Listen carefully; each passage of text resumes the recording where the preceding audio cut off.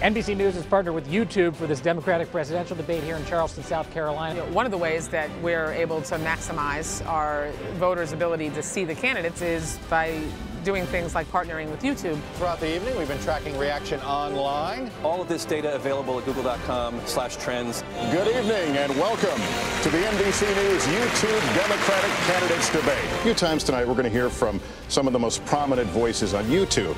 How would your presidency ensure that incidents of police violence are investigated and prosecuted fairly? This is a responsibility for the U.S. Justice Department to get involved. Here's another question from YouTube. It's from a young video blogger who has over 5 million subscribers. What I want to know is how are all of you planning on engaging us further in this election? Congratulations on 5 million viewers on YouTube. That's quite an accomplishment. I want to substantially lower student debt interest rates in this country. Tech companies are responsible for the encryption technology to protect personal data, but the government wants a backdoor into that information. So do you think it's possible to find common ground? We need collaborative leadership here with Silicon Valley. Public policy has not caught up with the explosion of technology. Last week, Secretary Clinton called you, quote, a pretty reliable vote for the gun lobby.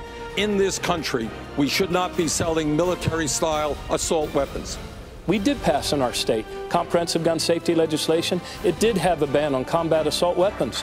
We finally have a path to universal health care. We've accomplished so much already. 29 million people still have no health insurance. We need to build on the Affordable Care Act, do the things that work, and reduce costs and increase access. And thanks to all of you for being here tonight. This has been great. It's been a great, spirited conversation. American people appreciate it.